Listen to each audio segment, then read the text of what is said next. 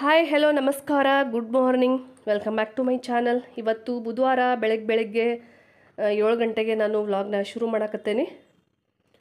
ಮತ್ತು ನೆಗಡಿ ಆಗಿಬಿಟ್ಟಿತ್ತಲ್ರಿ, ಹುಷಾರಿರಲಿಲ್ಲ, ಸ್ವಲ್ಪ ಹಾಗಾಗಿ ರಾತ್ರಿ ಕಿಚನ್ ಕ್ಲೀನ್ ಮಾಡೋಕ್ಕಾಗಿರಲಿಲ್ಲ ಆಲ್ಮೋಸ್ಟ್ ನಾನು ಹೆಚ್ಚಾಗಿ ನೈಟ್ ಮಲಗಬೇಕಾದ್ರೆ ಕಿಚನ್ ಕ್ಲೀನ್ ಮಾಡಿ ಮಲಗಿರ್ತೇನೆ. ಮತ್ತು ಸಿಕ್ಕಾಪಟ್ಟೆ ನೆಗಡಿ ಆಗಿತ್ತು ತಲೆನೋವು, ಗಂಟ್ಲು ನೋವು, ಕಿವಿ ನೋವು ಈ ಥರ ಎಲ್ಲ ಇತ್ತು. ಸ್ವಲ್ಪ ಲೈಟಾಗಿ ಜ್ವರನೂ ಇತ್ತು, ಹಾಗಾಗಿ ನಂಗೆ ಏನೂ ಮಾಡೋಕ್ಕೆ ಮನಸ್ಸ ಆಗಲಿಲ್ಲ. ಇಲ್ಲ ಅಂದರೆ ನಾನು ನೈಟನ ಎಲ್ಲ ಕಿಚನ್ ಎಲ್ಲ ಕ್ಲೀನ್ ಮಾಡೇನ ಮಲಗಿರ್ತೇನೆ ಕಂಪಲ್ಸರಿ ಏನು ಮಾಡೋಕ್ಕಾಗಂಗಿಲ್ಲ ಒಂದೊಂದು ದಿವಸ ಸ್ವಲ್ಪ ಹುಷಾರಿಲ್ಲ ಇದ್ದಾಗ ಈ ರೀತಿಯೂ ಹಾಗೆ ಆಗ್ತಾವೆ. ಸೊ ನೆಕ್ಸ್ಟ್ ನಾನು ನಾಷ್ಟ ಅಂತ ಕೆಲಸ ಮಾಡಬೇಕು. ಫಸ್ಟ್ ಕಿಚನ್ ಎಲ್ಲ ಕ್ಲೀನ್ ಮಾಡಿ ಇಟ್ಕೊಂಡು, ಅಲ್ಲಲ್ಲೇ ಹರಡ್ಕೊಂಡು ನಾಷ್ಟ ಮಾಡೋಕೆ ಮನಸ್ಸಾಗಂಗಿಲ್ಲ ರೀ ಫ್ರೆಶ್ ಒರೆಸಿ ಎಲ್ಲ ಸಾಮಾನೆಲ್ಲ ಆ ಕಡೆ ಈ ಕಡೆ ಅವ್ಕೂರ್ ಜಾಗದಾಗ ಇಟ್ಟು ನಾಷ್ಟ ಮಾಡಿದ್ರೆ ಒಂಥರ ಮನಸ್ಸಿಗೂ ಖುಷಿ. ಡೈಲಿ ಹೆಂಗೂ ನಾನು ಕ್ಲೀನ್ ಮಾಡೇ ಮಾಡ್ತಿರ್ತೀನಲ್ರಿ, ಅಷ್ಟೊಂದೇನು ಜಿಡ್ಡಿರಂಗಿಲ್ಲ ಏನು ಗಲೀಜು ಇರೋಂಗಿಲ್ಲ. ಜಸ್ಟ್ ಒಂದು ಕಿಚನ್ ಸ್ಪ್ರೇ ಹಾಕಿ ಒರ್ಸಾತಿದ್ನೆ ಅಷ್ಟೇ ನಾನು. ಹಾಗೆ ಇವತ್ತು ಬುಧವಾರ ಅಮಾವಾಸ್ಯೆ ಅಲ್ರಿ. ಸೊ ಪೂಜಾದ್ದೆಲ್ಲ ಕೆಲಸ ಇತ್ತು ಸ್ವಲ್ಪ. ಜೊತೆಗೆ ಬಾಗಿಲು ಕೂಡ ತೊಳೆದು ಬಂದಿದ್ನಿ, ರಂಗೋಲಿ ಹಾಕಿರಲಿಲ್ಲ. ತುಳಸಿ ಗಿಡದ ಮುಂದೆ ರಂಗೋಲಿ ಹಾಕತ್ತಿದ್ನಿ. ಹೆಚ್ಚಾಗಿ ನಾನು ಲಕ್ಷ್ಮೀ ಹೆಜ್ಜೆನೇ ಹಾಕಿರ್ತೇನೆ ತುಳಸಿ ಗಿಡದ ಮುಂದೆ. ಮತ್ತು ಅರಿಶಿನ ಕುಂಕುಮ ಯಾಕೆ ಹಾಕ್ತಾರೆ ಅಂತ ನಿಮ್ಗೆ ಅನ್ನಿಸ್ಬೋದು. ರಂಗೋಲಿ ನಾವು ಏನು ಹಾಕ್ತೇವಲ್ಲ ರೀ ಅದ್ರ ಮೇಲೆ ಅರಿಶಿನ ಕುಂಕುಮ ಹಾಕೋದ್ರಿಂದ ಯಾವುದೇ ಒಂದು ನೆಗೆಟಿವ್ ಎನರ್ಜಿ ಮನೆಯೊಳಗೆ ಬರಂಗಿಲ್ಲ ಅಂತಾರೋ, ಕೆಟ್ಟ ದೃಷ್ಟಿ ಆಗಂಗಿಲ್ಲ ಅಂತಾರೋ. ಸೊ ಹಾಗಾಗಿ ಅದೊಂದು ರೂಢಿ ಐತೆ ನನಗೆ. ರಂಗೋಲಿ ಮೇಲೆ ಸ್ವಲ್ಪ ಅರಿಶಿನ ಕುಂಕುಮ ಹಾಕಿರ್ತೇನೆ. ಇನ್ನೊಂದು ಸಾರಿ ನಾನು ರಂಗೋಲಿ ಮೇಲೆ ಈ ಥರ ಅರಿಶಿನ ಕುಂಕುಮ ಹಾಕಿದ್ದಕ್ಕೆ ಭಾಳ ಜನ ಕಮೆಂಟ್ ಮಾಡಿದರು, ಹಾಗಾಗಿ ಹೇಳಿದ್ನಷ್ಟ. ಜೊತೆಗೆ ಗುಡ್ಸೋದು, ಒರೆಸೋದು ಅಂತೂ ಇರೋದಲ್ರಿ. ಒಂದೊಂದು ದಿವಸ ನಾನು ಗ್ಯಾಪ್ ಕೊಟ್ಟಿರ್ತೇನೆ ನೆಲ ಒರೆಸೋದಕ್ಕೆ. ಈಗ ಅಮಾವಾಸ್ಯೆ ಮತ್ತು ಈ ಕೆಲವೊಂದು ವಾರ ಇರ್ತಾವಲ್ರಿ ಶುಕ್ರವಾರ, ಸೋಮವಾರ ಮತ್ತು ಏನೇ ಹುಷಾರಿಲ್ಲ ಅಂದರೂ ಮಾತ್ರ ನಾನು ಮಿಸ್ ಮಾಡೋದಿಲ್ಲ, ಮಾಡೋಕ್ಕೂ ಆಗಂಗಿಲ್ಲ. ಸೊ ಹಾಗಾಗಿ ಪಟಪಟ ಪಟ ಅಂಥೇಳಿ ನೆಲ ಒರ್ಸತ್ತಿದ್ನಿ. ಮೇಲ್ಗಡೆನೂ ಒರೆಸೋದು ಪ್ಲ್ಯಾನಿಂಗ್ ಐತ್ರಿ ಬಟ್ ನನಗೆ ಅಷ್ಟು ಹೆಲ್ತ್ ಸರಿ ಇಲ್ಲ ಇದ್ದಿದ್ದ ಕಾರಣ ಕೆಳಗಿನ ಫ್ಲೋರ್ ಅಷ್ಟೇ ಒರ್ಸಾಕತ್ತಿದ್ನಿ. ನಾಳೆ ಒರೆಸ್ಕೊಂಡ್ರೆ ಆಯ್ತು ಅಂಥೇಳಿ ಮತ್ತು ಈ ಮಾಪಿಂದ ನನಗಂತೂ ಭಾಳ ಹೆಲ್ಪ್ ಆಗೈತೆ ಅಂತ ಹೇಳ್ಬೋದು. ಏನು ಒರೆಸ್ದಂಗೆ ಅನ್ಸಂಗಿಲ್ಲ. ಅದಕ್ಕೆ ಕುಂತು ಒರೆಸೋದಂದ್ರಂತೂ ಆಗದೇ ಇರೋ ಮಾತದು. ಮುಂಚೆ ನಾನು ಅದನ್ನು ಮಾಡೇನಿ ರೀ ಕುಂತು ಒರೆಸ್ತಿದ್ದೆ ನಾನು ಫಸ್ಟ್ ಮದುವೆಯಾಗಿ ಬಂದಾಗ. ಬರ್ತಾ ಬರ್ತಾ ಹೊಸ ಹೊಸ ಟೆಕ್ನಿಕ್ ಎಲ್ಲ ಕಣ್ಣು ಹಿಡಿಯತ್ತಾರ ರೀ ಹಾಗಾಗಿ ಕೆಲಸಗಳೂ ಹಗರಾಗತ್ತವು. ಹಂಗೆ ಟೈಮ್ ಬಂದು ಈಗ ಹತ್ತು ಗಂಟೆ ನೋಡ್ರಿ, ಎಲ್ಲ ಕೆಲಸ ಎಲ್ಲ ಆಯಿತು.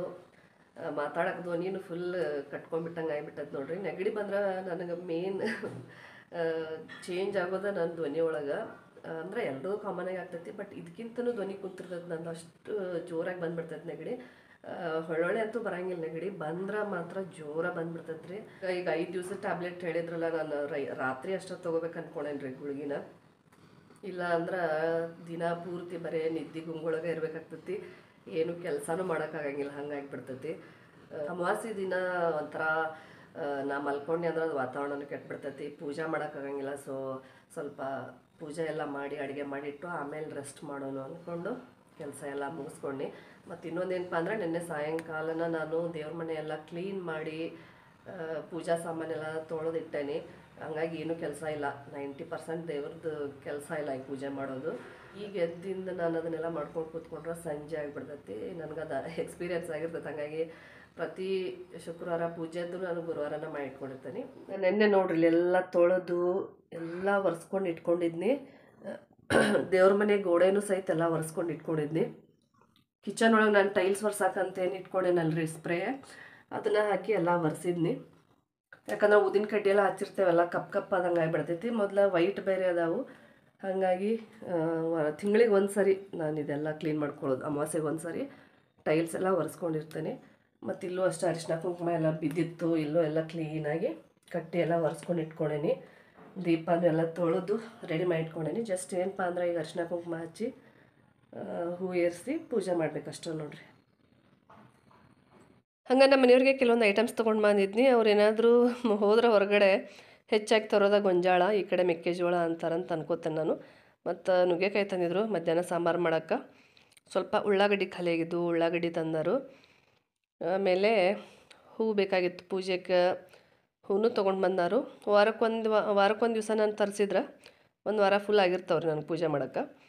ಮತ್ತು ಸೌತೆಕಾಯಿ ಎಳೆ ವಿದ್ವಂತ ತೊಗೊಂಡು ಬಂದರು. ಹಂಗೆ ಹಿಂದಿನ ಬ್ಲಾಗ್ ಒಳಗೆ ನಾನು ಪಡ್ ಮಾಡಿದಾಗ ರೆಸಿಪಿ ತೋರಿಸ್ರಿ ಅನ್ನತ್ತಿದ್ರು. ಪಡ್ ಮಾಡೋಕೆ ನೋಡ್ರಿ ನಾನು ನಾಲ್ಕು ಗ್ಲಾಸ್ ಅಷ್ಟು ಅಕ್ಕಿ ಸೇರಿಸ್ಕೊಳತ್ತೀನಿ. ಪಡ್ಡು ಮತ್ತು ದ್ವಾಸಿನ ನಾನು ಒಂದ ಹಿಟ್ಟೊಳಗೆ ಮಾಡಿರ್ತೀನಿ. ನಾಲ್ಕು ಗ್ಲಾಸು ಅಕ್ಕಿಗೆ ಒಂದು ಗ್ಲಾಸಷ್ಟು ಉದ್ದಿನಬೇಳೆ ಗಿರ್ದ ಗ್ಲಾಸಷ್ಟು ಕಡಲೆಬೇಳೆ ಹಂಗೆ ಒಂದು ಚಮಚದಷ್ಟು ಮೆಂತ್ಯ, ಮತ್ತು ಒಂದು ಗ್ಲಾಸಷ್ಟು ಅವಲಕ್ಕಿ ಸೇರಿಸ್ಕೊಳತ್ತೀನಿ. ಪಡ್ಡು ಮತ್ತು ದೋಸೆನ ನಾನು ಒಂದೇ ಹಿಟ್ಟಲ್ಲೇ ಮಾಡೋದ್ರಿಂದ ಒಂದು ಸಾರಿ ರುಬ್ಬಿಟ್ಬಿಟ್ರೆ. ಪಡ್ಡು, ದೋಸೆ ಎಲ್ಲದಕ್ಕೂ ಆಗ್ತೈತ್ರಿ. ಒಂದೇ ಸಾರಿ ನಾನು ರುಬ್ಬಿಟ್ಕೊಂಡ್ಬಿಟ್ಟಿರ್ತೇನೆ ಅಕ್ಕಿ ಮತ್ತು ಉದ್ದಿನ ಬೇಳೆನ ತೊಳೆದಾದ್ಮೇಲೆ ಆರಿಂದ ಎಂಟು ಗಂಟೆಗಳ ಕಾಲ ನೆನೆಯಕ್ಕೆ ಇಡ್ತೈತ್ರಿ ಆಮೇಲೆ ಸಾಯಂಕಾಲ ರುಬ್ಬಿ ಇಟ್ರೆ ಬೆಳಗ್ಗೆ ಅನ್ನೋಷ್ಟೊತ್ತಿಗೆ ಚಂದಗೆ ಹಿಟ್ಟು ನೆನೆದಿರ್ತೈತ್ರಿ. ಹಂಗೆ ಪೂಜಾನೂ ನಡೆದಿತ್ತು ನೋಡ್ರಿ ಈಗ. ಪೂಜೆದ ಕೆಲಸ ಮಾಡತ್ತಿದ್ನಿ ಒಂದೊಂದು ಸಲ ಅನಿಸ್ತತಿ, ಎಷ್ಟೇ ಹುಷಾರಿಲ್ಲ ಅಂದರೂ ಹೆಣ್ಮಕ್ಳಿಗೆ ಕೆಲಸ ತಪ್ಪಿದ್ದಲ್ಲ ಅಂಥೇಳಿ ಅಟ್ಲೀಸ್ಟ್ ಎದ್ದು ಮಕ್ಳಿಗೆ ಏನಾದರೂ ತಿನ್ನಕ್ಕಂತೂ ಹಾಕಿ ಕೊಡಲೇಬೇಕಾಗ್ತತಿ ನಿಮಗೂ ಎಕ್ಸ್ಪೀರಿಯನ್ಸ್ ಆಗಿರ್ತೈತಿ. ಯಾಕಂದ್ರೆ ಮದುವೆಗಿಂತ ಮುಂಚೆ ಆದ್ರೆ ನಮ್ಮ ಅಮ್ಮ ಇರ್ತಾರೋ, ಮಮ್ಮಿ ಇರ್ತಾರೋ, ಅವ್ರು ನಮ್ಮನ್ನು ನೋಡ್ಕೋತಿರ್ತಾರೋ. ಬಟ್ ಮದುವೆ ಆದಮೇಲೆ ನಮ್ಮನ್ನು ನೋಡ್ಕೊಳಕ್ಕೆ ಯಾರೂ ಇರೋಂಗಿಲ್ಲ. ನಾವೇ ಎಲ್ಲರೂ ನೋಡ್ಕೋಬೇಕಾಗ್ತೈತಿ. ಮಕ್ಕಳನ್ನ ಆಗಲಿ ಹಸ್ಬೆಂಡ್ನ ಆಗಲಿ ಮನೆಯವ್ರನ್ನೆಲ್ಲ ನೋಡ್ಕೊಳ್ಳೋ ಜವಾಬ್ದಾರಿ ನಮಗೆ ಬಂದಿರ್ತೈತಿ.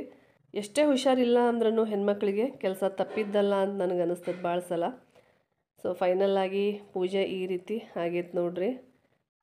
ಆಲ್ರೆಡಿ ಟೈಮ್ ಎರಡು ಗಂಟೆ ಆಗಿತ್ತು. ಎಲ್ಲರೂ ಹಸು ಹಸು ಅನ್ನತ್ತಿದ್ದರು ರೀ. ಎಲ್ಲರಿಗೂ ಫುಲ್ ಹಸುವಾಗಿತ್ತು ನಮ್ಮ ಮನೆಯವ್ರಿಗೆ, ಹುಡುಗರಿಗೆ ಇಬ್ಬರಿಗೂ ಹಾಗಾಗಿ ನೋಡ್ರಿ ಒಂದು ಒಲೆ ಮೇಲೆ ನುಗ್ಗೆಕಾಯಿ, ಒಂದ್ರ ಮೇಲೆ ಅನ್ನ, ಒಂದ್ರ ಮೇಲೆ ಸಾರಿಗೆ ಬೇಳೆ ಕುದಿಯಾಕಿಟ್ಟೇನಿ ಇನ್ನೊಂದ್ರಾಗ ಪಾಯಸ ಮಾಡೋಕೆ ಕಡ್ಲಿ ಬೇಳೆ ಕುದಿಯಾಕಿಟ್ಟಿದ್ನಿ ಹಂಗೆ ಎಲ್ಲ ಬೇಗ ಬೇಗ ಕುದ್ಬಿಟ್ಟು ರೀ. ಈಗ ನೆಕ್ಸ್ಟು ಸಾರಿಗೆ ಒಗ್ಗರಣೆ ಹಾಕತ್ತಿದ್ನಿ. ನಾನೇನು ಎಕ್ಸ್ಟ್ರಾ ಏನು ಸಾರಿಗೆ ಎಕ್ಸ್ಟ್ರಾ ಮಸಾಲೆ ಹಾಕಿ ಇವತ್ತು ಮಾಡತ್ತಿಲ್ಲ. ಜಸ್ಟ್ ಬೆಳ್ಳುಳ್ಳಿ ಒಗ್ಗರಣೆ ಹಾಕಿ, ಮಸಾಲೆ ಖಾರ ಹಾಕಿ ನುಗ್ಗೆಕಾಯಿ ಸಾಂಬಾರು ಮಾಡತ್ತಿದ್ನಿ. ನಾವು M T R sambar powder ಹಾಕ್ತೇವಲ್ಲ ರೀ ಅದಕ್ಕಿಂತ ಈ ರೀತಿ ಮಸಾಲೆ ಖಾರ ಹಾಕಿದ್ರೂ ಟೇಸ್ಟ್ ಬೇರೆ ಥರ ಬರ್ತೈತಿ. ಸೊ ಕ್ವಿಕ್ಕಾಗಿಯೂ ಆಗ್ತೈತಿ ಟೇಸ್ಟಾಗಿಯೂ ಇರ್ತೈತಿ. ಸೊ ಪಟ್ ಅಂಥೇಳಿ ಈ ಕಡೆ ಸಾಂಬಾರಿಗೆ ಒಗ್ಗರಣೆ ಹಾಕತ್ತಿದ್ನಿ. ಆಲ್ರೆಡಿ ಕಡಲೆಬೇಳೆ ಪಾಯಸನೂ ಮಾಡಿಬಿಟ್ಟೇನಿ. ಹಣ್ಣಂತೂ ಆಲ್ರೆಡಿ ಆಗೈತಿ. ಸೊ ಕೆಲಸ ಕಮ್ಮಿ ಆಯ್ತು ಅಂತ ಹೇಳ್ಬೋದು ಬೇಗ ಬೇಗ ಮಾಡಿದ್ನಿ ಒಟ್ಟಿನಲ್ಲಿ ನುಗ್ಗೆಕಾಯಿ ಸಾಂಬಾರಂತೂ ನಮ್ಮ ಮನೆಯಾಗೆ ಎಲ್ಲರೂ ಇಷ್ಟಪಟ್ಟು ತಿಂತಾರು. ಯಾವಾಗಲೂ ನಾನು ಅಡುಗೆ ಮಾಡ್ಕೊತಾನೆ ಎಲ್ಲ ಕೆಲಸ ಮಾಡಿಬಿಡ್ತಿದ್ನಿ. ಇವತ್ತು ಸ್ವಲ್ಪ ಹುಷಾರಿಲ್ಲ ಅನ್ಕೊಂತ ಸ್ವಲ್ಪ ಕೆಲಸ ಅಂತೂ ಭಾಳ ಲೇಟ್ ಆಗಿಬಿಡ್ತು. ಅರಿಶಿನ, ಉಪ್ಪು, ಖಾರ ಇಷ್ಟ ನೋಡ್ರಿ ಎಕ್ಸ್ಟ್ರಾ ಮಸಾಲೆ ಅಂತ ನಾ ಹಾಕಿದ್ದು. ಮಸಾಲೆ ಖಾರದೊಳಗೆ ಎಲ್ಲ ಇರ್ತೈತಲ್ರಿ, ಹಾಗಾಗಿ ಅಗದಿ ಟೇಸ್ಟ್ ಆಗಿರ್ತೈತಿ. ಅದಕ್ಕೆ ಹಾಕಿದ್ರು ಪಲ್ಯಕ್ಕೆ ಹಾಕಿದ್ರು ಅಷ್ಟ, ಸಾಂಬಾರಿಗೆ ಹಾಕಿದ್ರು ಅಷ್ಟ ಮಸ್ತ್ ರುಚಿ ಆಗ್ತೈತಿ. ಈಗ ನೋಡ್ರಿ, ಈಗ ನಾನು ಕುದಿಬೇಕಾದ್ರೆ ಕರಿಬೇವು ಹಾಕಿರ್ತೇನೆ ಹೆಚ್ಚಾಗಿ. ಒಗ್ಗರಣೆ ಹಾಕೋದಕ್ಕಿಂತ ಸಾರು ಕುದಿಬೇಕಾದ್ರೆ ಕರಿಬೇವನ್ನು ಕೈಯಿಂದ ಕಟ್ ಮಾಡಿ ಸೇರಿಸಿದ್ರೆ ಇನ್ನೂ ಟೇಸ್ಟ್ ಚಲೋ ಬರ್ತೈತೆ ರೀ ಸಾರ್ದು. ಈಗ ಕಡಲೆಬೇಳೆ ಪಾಯಸ ಎಷ್ಟು ಬೇಕಲ್ಲ ಅಷ್ಟೇ ಮಳೆ ನೋಡ್ರಿ. ಲವಂಗ ಕುಟ್ಟಿ ಹಾಕೇನಿ ನಿಮ್ಗೆ ಕಪ್ ಕಪ್ಪದು ಏನು ಅಂತ ಅನ್ನಿಸ್ತಿರ್ಬೋದು. ಹಂಗೆ ಊಟ ಎಲ್ಲ ಆದಮೇಲೆ ಸಂಜೆ ಆರು ಗಂಟೆಗೆ ನಾನು ವ್ಲಾಗ್ನ ಕಂಟಿನ್ಯೂ ಮಾಡತ್ತೀನಿ. ಫುಲ್ ರೆಸ್ಟ್ ಆಯಿತು. ಜೊತೆಗೆ ಅಡುಗೆ ಮನೆಯೂ ಅಷ್ಟು ಮೆಸ್ಸಿ ಆಗಿತ್ತು ನೋಡ್ರಿ.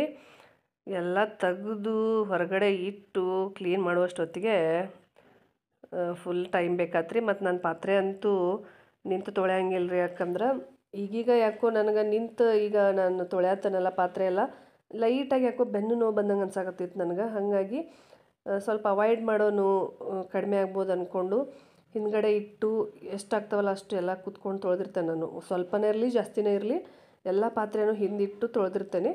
ನಿಮಗೂ ಅಷ್ಟೇ ಲೈಟಾಗಿ ಬ್ಯಾಕ್ ಪೇನ್ ಬರತ್ತತಿ ಅಥವಾ ಬ್ಯಾಕ್ ಪೇನ್ ಐತಿ ಅಂದ್ರೆ ನಿಂತು ಕೆಲಸ ಮಾಡೋದನ್ನು ಕಡಿಮೆ ಮಾಡಬೇಕು. ಆದಷ್ಟು ತರಕಾರಿ ಹೆಂಚೋದನ್ನು ಕೂತ್ಕೊಂಡು ಕೆಳಗಡೆ ಹೆಂಚಿದ್ರೆ ಅವಾಯ್ಡ್ ಮಾಡ್ಬೋದು. ಸ್ವಲ್ಪ ಆದಷ್ಟು ಬ್ಯಾಕ್ ಪೇನ್ ಎಲ್ಲ ಕಡಿಮೆ ಆಕ್ಕೊಂತ ಹೋಗ್ತೈತಿ. ಮತ್ತು ನಿಂತು ನಾವು ಏನು ಮಾಡ್ತೇವಲ್ಲ ರೀ ಭಾಳ ಹೊತ್ತು ನಿಂತು ಮಾಡುವಂಥ ಕೆಲಸನ ಕೂತ್ಕೊಂಡು ತರಕಾರಿ ಹೆಂಚೋದು, ಕೂತ್ಕೊಂಡು ಪಾತ್ರೆ ತೊಳೆಯೋದು ಈ ಥರ ಮಾಡಿದ್ರೆ ಸ್ವಲ್ಪ ಕಡಿಮೆ ಆಗ್ತೈತಿ ಇದ್ದಿದ್ರೊಳಗನ.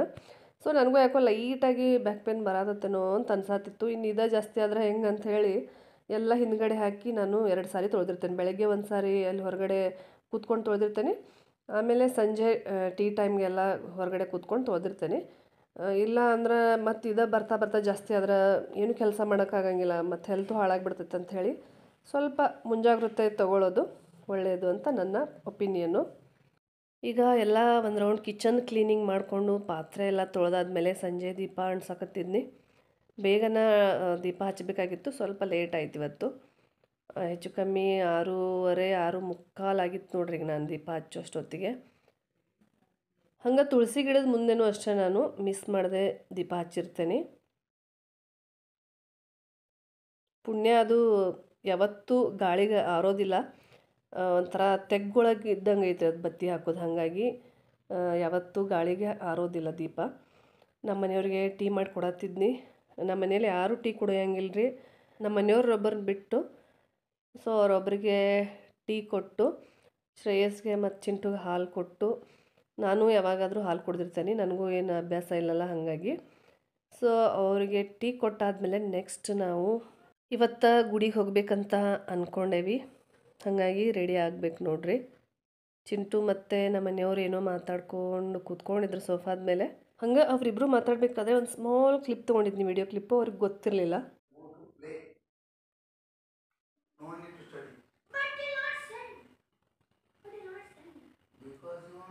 You like. ನೀನು ಅಲ್ಲ.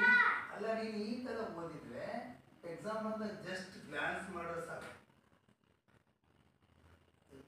ಸೊ ಸ್ನೇಹಿತರೆ ಈಗ ಟೈಮು ಎಂಟು ಗಂಟೆ ಆಗೈತಿ. ದೇವಸ್ಥಾನಕ್ಕೆ ಹೋಗ್ಬೇಕಂತ ರೆಡಿ ಆಗಿದ್ವಿ. ಚಿಂಟು ಆಲ್ರೆಡಿ ರೆಡಿ ಆಗಿಬಿಟ್ಟಾನು. ಅಲ್ಲ ಚಿಂಟು ಎಕ್ಸಾಮ್ ಎಲ್ಲ ಮಂಡೆ ಮುಗಿದ್ದವು ಫುಲ್ ಫ್ರೀ ಆಗಿಬಿಟ್ಟಾನ ನೋಡ್ರಿ ಅವು. ಎಕ್ಸಾಮ್ ಮುಗಿದು ಫುಲ್ ಏನೋ ಭಾಳ ಕಷ್ಟಪಟ್ಟೆ ಅನ್ನೋ ಥರ ಬರೀ ರೆಸ್ಟ್ ಮಾಡತ್ತಾನು. ಅಂದರೆ ಇವತ್ತು ಅಮಾವಾಸ್ಯೆನೂ ಇತ್ತು, ನಮ್ಮ ಮನೆಯವ್ರಿಗೆ ರಜಾನೇ ಇತ್ತು, ಹಂಗಾಗಿ ದೇವಸ್ಥಾನಕ್ಕೆ ಹೋಗ್ಬೇಕಂತೇಳಿ ರೆಡಿ ಆದ್ವಿ. ಮತ್ತು ನಾನು ಹೋಗ್ಬೇಕಂತ ಅಂದ್ಕೊಳಕತ್ತನ ಆಲ್ಮೋಸ್ಟ್ ಎರಡು ಮೂರು ವಾರ ಆಗಿತ್ತು ಸಂಡೇ. ಚಿಂಟೂನ್ ಎಕ್ಸಾಮ್ ಇರೋದ್ರಿಂದ ಪ್ರತಿ ಸಾರಿ ಕ್ಯಾನ್ಸಲ್ ಆಗೋದು. ಮೊನ್ನೆ ಮೊನ್ನೆ ಅವ್ನು ಎಕ್ಸಾಮ್ ನಡೆದಾಗಲೂ ಸಂಡೇ ಅಂದ್ಕೊಂಡು ಬಟ್ ಇನ್ನೂ ಪ್ರಿಪೇರ್ ಆಗಿಲ್ಲ. ಬೇಡಪ್ಪ ಎಕ್ಸಾಮ್ ಮುಗಿದ್ಮೇಲೆ ನಾವು ಹೋಗೋಣ ಅಂದ್ಕೊಂಡು ಆ ಸಾರಿನೂ ಕ್ಯಾನ್ಸಲ್ ಆಯಿತು. ಇವತ್ತು ಹೆಂಗೋ ಅಕ್ಟೋಬರ್ ಎರಡು ರಜಾ ಇತ್ತು ನಮ್ಮ ಮನೆಯವ್ರಿಗೂ ಹಾಗಾಗಿ ರೆಡಿ ಆಗಿದ್ದೀನಿ ನಾನು ಆಲ್ರೆಡಿ ಚಿಂಟುನು ಕುಂತಾನು ನಮ್ಮ ಮನೆಯವ್ರಿಗೆ ಕಾಯಕತ್ತೇವಿ. ಮತ್ತು ನನಗೆ ದೇವಸ್ಥಾನಕ್ಕೆ ಹೋಗೋ ಮುಂದೆ ಸೀರೆ ಉಟ್ಕೊಂಡು ಹೋಗೋದಂದ್ರೆ ಭಾಳ ಇಷ್ಟ. ಯಾಕಂದ್ರೆ ಯಾವಾಗೂ ಡ್ರೆಸ್ ಹಾಕೊಳ್ಳೋದು ಇದ್ದೇ ಇರ್ತೈತೆ ರೀ ಅದೊಂದು ಖುಷಿನೇ ಬೇರೆ, ಅದೊಂದು ಟ್ರೆಡಿಷ್ನಲೇ ಬೇರೆ ಸೀರೆ ಉಟ್ಕೊಂಡು ನಾವು ದೇವಸ್ಥಾನಕ್ಕೆ ಹೋಗೋದು. ಮತ್ತು ನಂಗೆ ರೇಷ್ಮೆ ಸೀರೆಗಿಂತ ಈ ಥರ ಸಿಂಪಲ್ ಸೀರೆನೇ ಇಷ್ಟ ನೋಡ್ರಿ.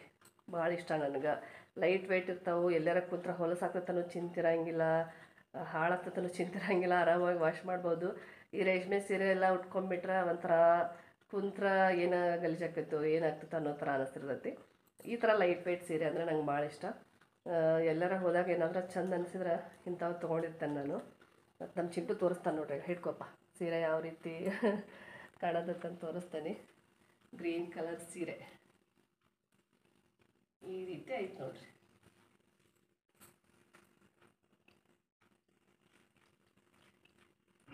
ಬಾ ಚಿಂಟು ನೀ ಎಲ್ಲಿ ಕೂತ್ಕೋತಿ?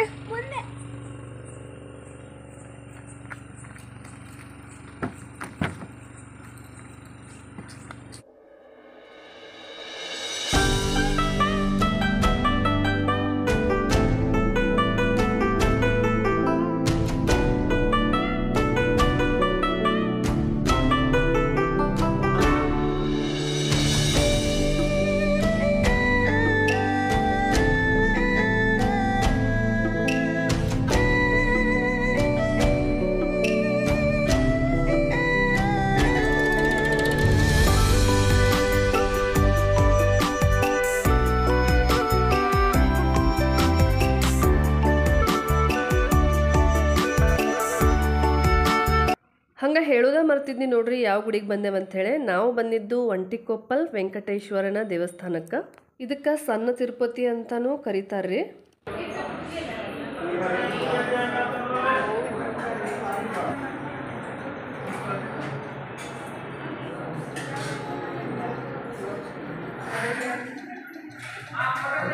ಹಂಗೆ ನಾವು ಹೊರಗೆ ಬರ್ತಾ ಇದ್ದಂಗೆ ನೋಡ್ರಿ, ಒಂದೊಂದು ಲೈಟ್ ಕೂಡ ಆಫ್ ಮಾಡತ್ತಿದ್ರು ಗುಡಿ ಬಾಗಿಲು ಕೂಡ ಎಲ್ಲ ಮುಚ್ಚಾತಿದ್ದರು. ಅಂದ್ರೆ ಕ್ಲೋಸಿಂಗ್ ಟೈಮ್ ಇತ್ತಿದ್ದು ನಾವು ಹೋದಾಗ ಪುಣ್ಯ ದರ್ಶನ ಸಿಕ್ತಲ್ಲ, ಅದೇ ಒಂದು ಖುಷಿ ಅಷ್ಟೇ ನೋಡ್ರಿ.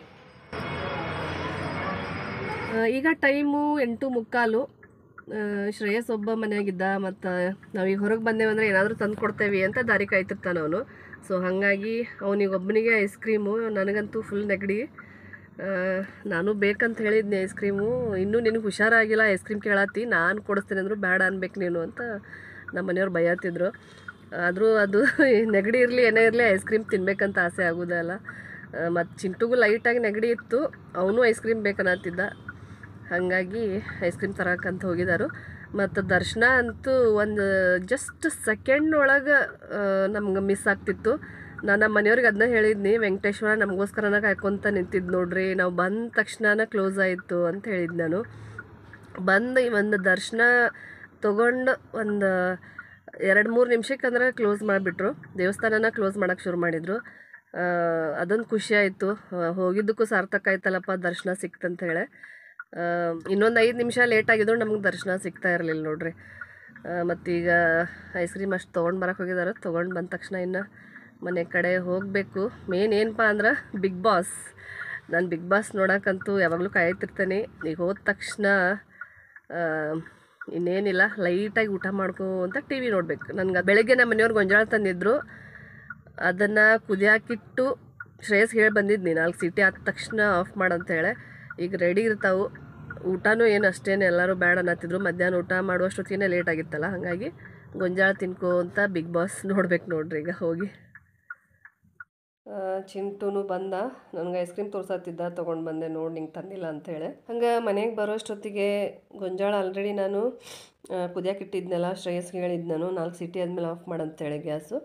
ಸೊ ಆಫ್ ಮಾಡಿದ್ದ, ಬಿಸಿ ಬಿಸಿಯಾಗಿ ಗೊಂಜಾಳ ಕೂಡ ರೆಡಿಯಾಗಿದ್ದು ಎಲ್ಲರೂ ಕೂಡಿ ಆಲ್ರೆಡಿ ಕೂತ್ಕೊಂಡು ತಿನ್ನತ್ತಿದ್ರು. ನನಗೋಸ್ಕರ ಅಂಥೇಳಿ ಎರಡು ಬಿಟ್ಟಿದ್ರು. ಸೊ ನಾನು ಕೂಡ ಒಂದು ತೊಗೊಂಡು ಬಿಸಿ ಬಿಸಿ ಗೊಂಜಾಳಕ್ಕೆ ಸ್ವಲ್ಪ ಉಪ್ಪು ಹಾಕಿದ್ರೆ ಅಗದಿ ಟೇಸ್ಟ್ ಇರ್ತೈತೆ ರೀ ಸ್ವಲ್ಪ ಚಾಟ್ ಮಸಾಲ ಇದ್ರೂ ಅಷ್ಟು ಅಗದಿ ಟೇಸ್ಟ್ ಇರ್ತೈತಿ ಮೇಲೆ ನಾವು ಹಚ್ಕೊಂಡು ತಿಂದ್ರೆ. ಆದರೆ ಬಿಸಿ ಬಿಸಿ ಇದ್ದಾಗ ತಿಂದ್ರೆ ಟೇಸ್ಟ್ ಹಂಗೆ ಸ್ವಲ್ಪ ಆರಿದ ಮೇಲೆ ತಿನ್ನಕ್ಕೆ ಹೋದ್ರೆ ಟೇಸ್ಟ್ ಹತ್ತಂಗಿಲ್ಲ. ಸೊ ನೋಡ್ಬೇಕು ಇಷ್ಟು ತಿಂದಾದ್ಮೇಲೆ ಯಾರ್ಯಾರಿಗೆ ಏನು ಅಡುಗೆ ಬೇಕು ಎಕ್ಸ್ಟ್ರಾ ಏನಾದರೂ ಮಾಡಿಕೊಡ್ಬೇಕು. ಹಂಗೆ ಇವತ್ತಿನ ವ್ಲಾಗ್ನ ಇಲ್ಲಿಗೆ ಏನು ಮಾಡತ್ತೀನಿ. ಆಲ್ರೆಡಿ ನನ್ನ ಫೇವ್ರೆಟ್ ಶೋ ಬಿಗ್ ಬಾಸ್ ಕೂಡ ಶುರು ಆಗೈತಿ ಮತ್ತು ಸಿಗೋಣಂತ್ರಿ ಮತ್ತೊಂದು ಹೊಸ ವ್ಲಾಗ್ ಜೊತೆ ಅಲ್ಲಿವರೆಗೂ ಹಿಂಗೆ ನನ್ನ ವ್ಲಾಗ್ಸ್ನ ನೋಡ್ತಾ ಇರಿ, ಸಪೋರ್ಟ್ ಮಾಡ್ತಾ ಇರಿ, ಮತ್ತು ನನ್ನ ಚಾನೆಲ್ನ ಯಾರಾದರೂ ಸಬ್ಸ್ಕ್ರೈಬ್ ಮಾಡಿಲ್ಲ ಅಂದ್ರೆ ಮರ್ಯಾದ ಸಬ್ಸ್ಕ್ರೈಬ್ ಮಾಡ್ಕೋರಿ. ಮತ್ತೆ ಸಿಗೋಣ. ನಮಸ್ಕಾರ. ಬಾಯ್. Good night. ಶುಭರಾತ್ರಿ.